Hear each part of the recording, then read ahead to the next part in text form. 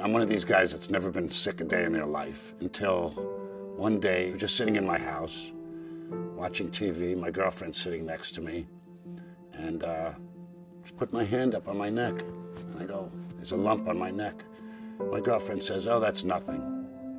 I said, no, it's not nothing. I had to go to an ENT to get a needle aspiration in my neck, and I'm on the bus commuting home from the city. I get a phone call from the doctor. Uh, I don't know how to tell you this, he says, but uh, you have squamous cell carcinoma of the head and neck. And I'm looking at the internet and they're going, well, if you have that, you know, they're probably going to just like remove your voice box. I'm going, oh, this is great. You know, I'll live like a few more years and I won't be able to talk, you know, things like that. I was scared to death.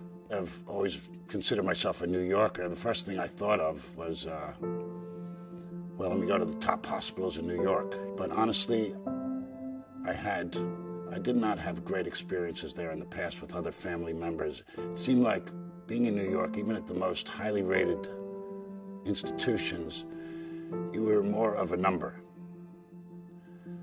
And that was not for me. I needed somebody to take care of me. When I went to Dr. Weinstein's office, he immediately uh, calmed me down because I said, you know, I started telling him, gee, am I going to live? Like, so he's going, uh, you're going to be perfectly fine when you get out of here. Don't worry about a thing. He actually has quite a sense of humor because I said to him, uh, I said, gee, I feel like a really lucky guy. He goes, well, you're not that lucky. You have cancer. but he says, don't worry about it. I'm to take care of you. And the fact is, he really did take care of me.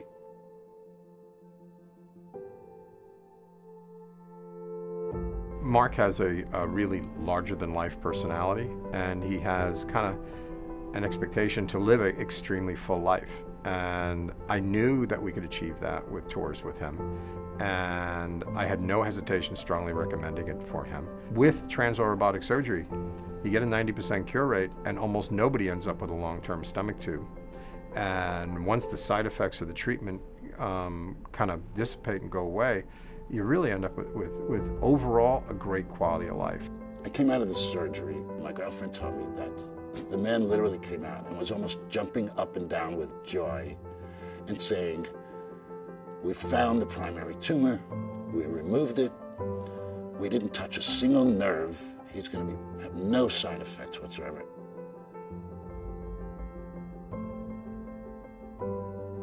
Mark was an ideal candidate for proton therapy, one, because we know that conventional radiation therapy uh, to the head and neck region that Mark needed can cause significant side effects. We also know that we're one of the only sites in the world that can deliver and has the technology to be able to deliver uh, pencil beam scanning proton therapy that is required for head and neck radiation. I was in this hospital a lot.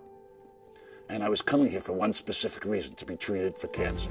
Every single time I came here, not only did I feel good coming here, I felt great leaving here. The way they treat you here, like I said, it's like you're the President of the United States. Mark's long-term prognosis is excellent. We expect him to live cancer-free for the rest of his life. And we also expect his treatments not to interfere with his life now or in the future. This summer, I was hiking 10 mile hikes with like 1,500 feet or 2,000 feet of elevation on 90 degree days, schlepping a pack with two giant water bottles, and uh, riding my bike, going to the ocean, going dancing with my girlfriend. My life is completely back to normal.